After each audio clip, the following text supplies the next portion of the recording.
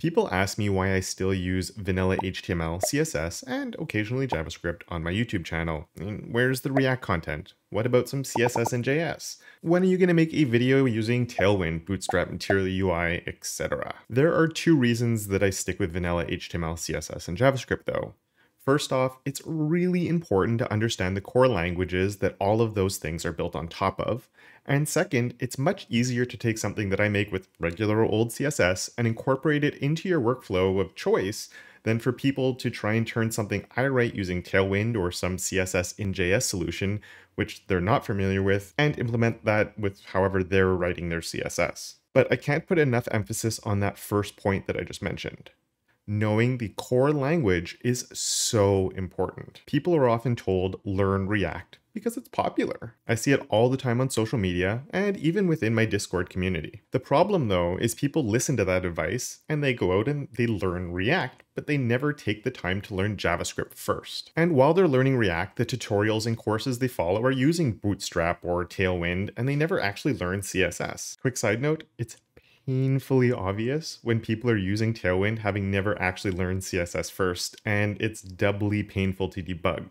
There's nothing wrong with Tailwind, but you can't use it without a decent understanding of CSS, so please learn that first. But going back to what I was just talking about, about learning the core languages, when people skip that step, it leads to questions like this one right here, which were on a recent video of mine where I was looking at doing like a sticky header and how you could get it to change when you scroll down a little bit. Now the focus of that video was on about eight lines of JavaScript to get that actually working. Now I'm not here to judge at all. I understand that if you're a beginner and you want to incorporate what I was teaching there into a React project that you're working on, it might not be super straightforward and there's probably a few tweaks that you're going to have to make. The problem is when you've only used React, you don't know the parts of the code that you're writing that are React specific and the parts that are regular JavaScript. And I'm not speaking from some high and mighty spot here either. I made the same mistake, but the previous generation's similar mistake, where I learned jQuery before getting into JavaScript itself. I think that the reason that I fell into this trap is the same reason that people get into modern JavaScript frameworks early on as well. React tutorials are going to show you how to make a website and make things work, whereas a JavaScript tutorial might just get bogged down in theory and you're not really sure what the point of everything you're learning is. I ran into this exact same thing with jQuery. jQuery is basically all about DOM manipulation, so learning it was about making things happen rather than going over how to make yet another type of loop in JavaScript. It felt more meaningful and like I was making some progress because I was actually building things while I was learning it and getting things to happen, and it was much more exciting and it felt much more impactful. But ultimately, learning jQuery first held me back for a long time. I would have been better off getting a good understanding of JavaScript first and then using jQuery to help speed things up and improve my workflow. But then I also thought, what's the point in learning JavaScript first?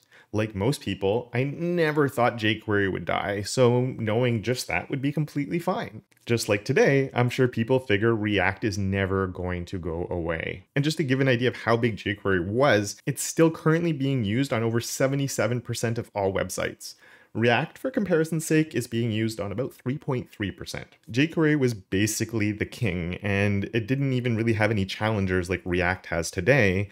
And then one day it was basically kicked to the curb. Things come and go, trends change, new better things pop up, and the industry shifts.